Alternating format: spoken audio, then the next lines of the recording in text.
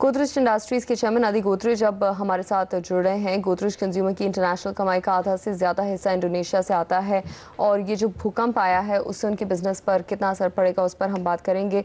गोदरेज साहब, धन्यवाद हमसे बात करने के लिए। सर जैसे हम अपने दर्शकों को बता रहे थे कि आपकी इंटरनेशनल कमाई का आधा से ज़्यादा इंडोनेशिया से आता है आपके ऑपरेशन पर कितना इम्पैक्ट आप देखते हैं पड़ते हुए? कोई इम्पैक्ट नहीं है। ये अर्थक्वेक जो हुआ है वो नॉर्दर्न इंडोनेशिया में ऑफ़ द सुमात्रा कोस्ट हुआ है। जकार्ता में जहाँ हमारी फैक्ट्रीज है वहाँ तो अर्थक्वेक का कोई भी असर भी नहीं आ, उनको पड़ा था। और कोई भी डैमेज नहीं हुआ है इंडोनेशिया में और ऑपरेशन बिल्कुल नॉर्मल है।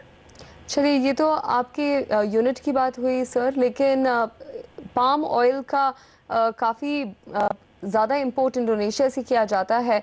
और अब जबकि वहाँ पर इस तीव्रता का भूकंप आया है ऐसी आशंकाएँ हैं कि वो सप्लाई इम्पैक्ट हो सकता है। नहीं नहीं, बिल्कुल नहीं होगा, क्योंकि कोई असर नहीं हुआ है इंडोनेशिया में। तो पाम ऑयल प्रोडक्शन नॉर्मल रहेगा और शिपिंग लेन्स भी नॉर्मल रहेंगे ऐसा।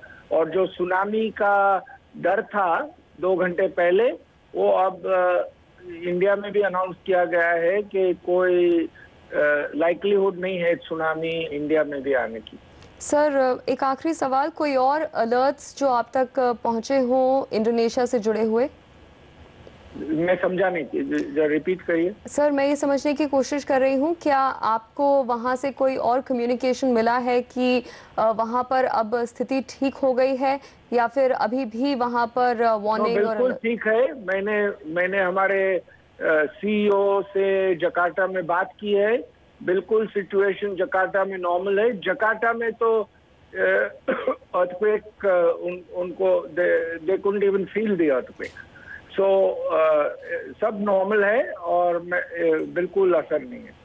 चलिए गोदरेज साहब, बहुत बहुत धन्यवाद हमसे बात करने के लिए। आदि गोदरेज गोदरेज ग्रुप के चेयरमैन बताते हुए कि इसके बावजूद कि इंडोनेशिया में 7.8 तीव्रता का ये भूकंप आया है, उनके ऑपरेशंस बिल्कुल इम्पैक्ट नहीं होंगे।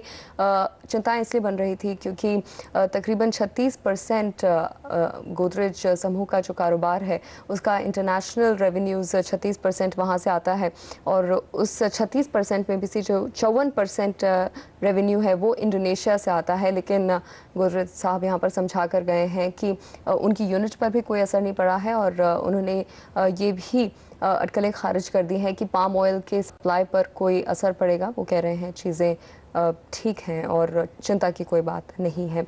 ब्रेक लेंगे। सुनामी की खबर का बाज़ार पर आज क्या असर पड़ा, इस पर हम विस्तार से बात करेंगे कुछ ही देर।